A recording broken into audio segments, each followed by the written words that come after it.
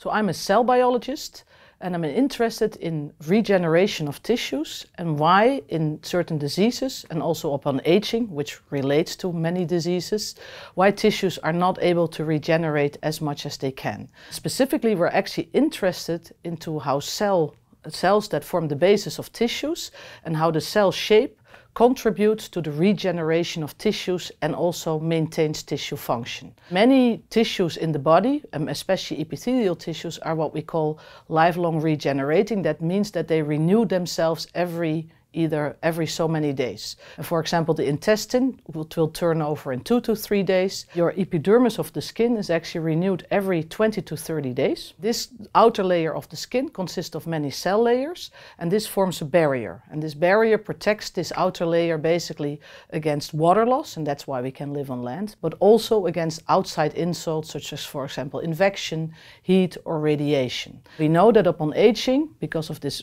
reduced regenerative capacity, this barrier doesn't function any, anymore properly. And what we're now trying to understand is really understanding how cells structure, how cells adhere to the other cells or to the environment that they lay down in proteins, how this cell structure determines the the, the, regenerative capacity by looking at stem cells, but also how it makes these final barriers and how it builds up these barriers. And that is what we do in my laboratory. So to address how cell structure determines tissue function and how it also allows tissues to regenerate themselves throughout life to keep an epithelial barrier, we need to study these processes at different scale lengths. That means that we start at the protein-protein level and to understand how proteins interact with each other, to actually allow interactions between cells that are important for cell shape. Then we take it into a cellular context where we now ask if we have these protein complexes and we take one component out, how does that affect the behavior of individual cells as well as cells in contact with each other. And then we have to take it to the next level, where we basically, next scale level, where we then look really in an organ and ask if we now remove one of these proteins that we think is important for cell shape, what happens then at the tissue level?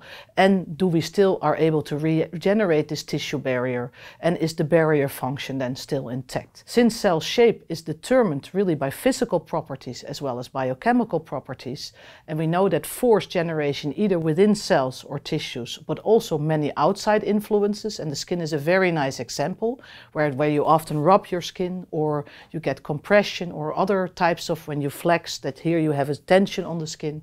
So we actually collaborate then with both physicists and mechanical biologists to really look at these different cells, uh, at these different scale lengths, uh, basically how these processes function to really get a deep understanding how these tissue barriers renew and how they maintain while renewing their barrier function.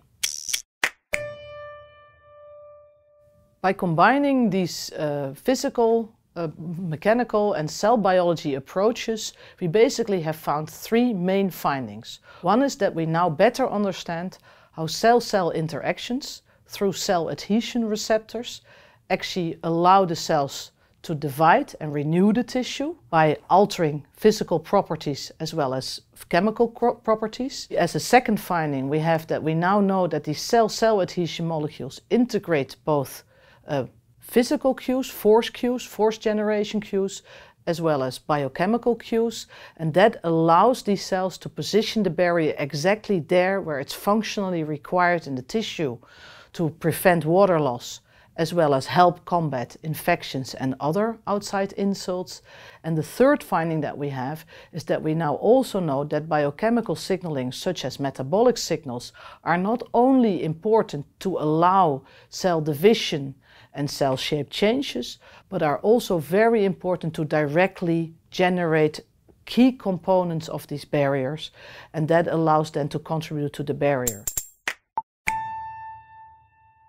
why is it relevant what we're doing? So we know that in many diseases the skin barrier function is impaired. And this goes for very inflammatory diseases which are very common, such as psoriasis or atopic dermatitis.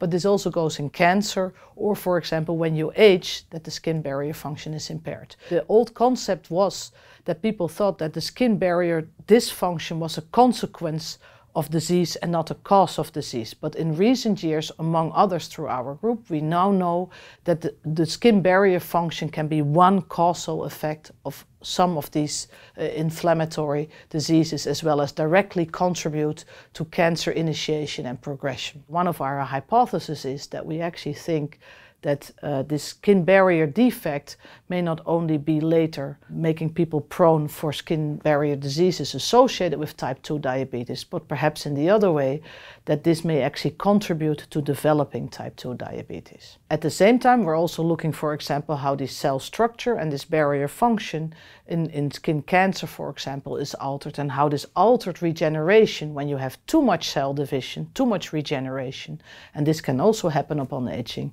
if you those processes go out of control, then you develop skin cancer. And so we're trying to again understand how these aging processes that affect the skin barrier may then also contribute to developing, for example, skin cancer.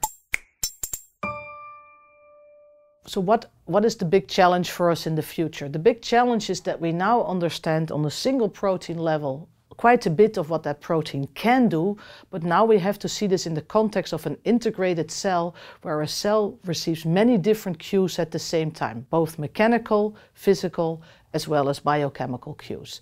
And this is then integrated by different protein complexes that have to be coordinated to allow this cell to change its cell shape and thereby also change its positions to start building these barriers. And I think this is of course also a temporal effect, so we have to have better methodology to, to follow these processes over time, but also better understand how these cues are integrated and what are the key coordinators of these processes that allow these different complexes to coordinatedly um, change the cell shape and the cell position and allow cell division to regenerate basically. And one of the big challenges right now is that we can in, in, in, cell culture can really look and see what kind of mechanical cues are there and also exert forces on these cells, but what kind of forces are really perceived when a, when a cell is in the context of a living organism in a living tissue. This will be one of the challenges where we have to have also new methodology to start to analyze this in an in vivo context and to be able then to control these forces in an, uh, in an organismal context, basically.